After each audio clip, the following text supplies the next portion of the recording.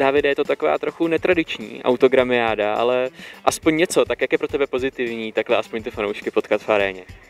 Jo, je to super, je to vlastně je to špecifické, ale uh, ta celá sezóna byla taká špecifická a bola bez ľudí a my sme strašne radi, že aspoň, aspoň takto sa môžeme s nimi vidieť a, a trošku si vymeniť aj, aj pár slov a, a, a, a sme trošku vlastne aj s nimi, pretože tá sezóna hovorím, bola, bola celá taká divná, takže, takže si myslím, že toto je super. My jsme rádi, že můžeme těm lidem aspoň trošku poděkovat za to, za to, jak nás podporovali.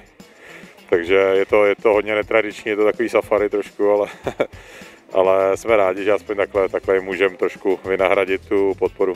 Ty vlastně od svého příchodu do Liberce si tady ještě nemohl zahrát před vyprodanou halou. Tak jak velké lákadlo to pro tebe je? Jo, tak já jsem se aj, aj na to těšil, protože vím, že, že do Liberce chodilo vždy dost, dost lidí, už si pamätám, když jsme tu přišli s Varmi, tak, eh, tak tu bylo hodně lidí. Verím, verím, že se to zlepší a do další sezóny, že už eh, vybehneme a uvidíme tu plný, plný dom, protože eh, ten hokej se přece len hraje pre tých ľudí a bez nich to je vlastně, je to také divné, nemá to atmosféru.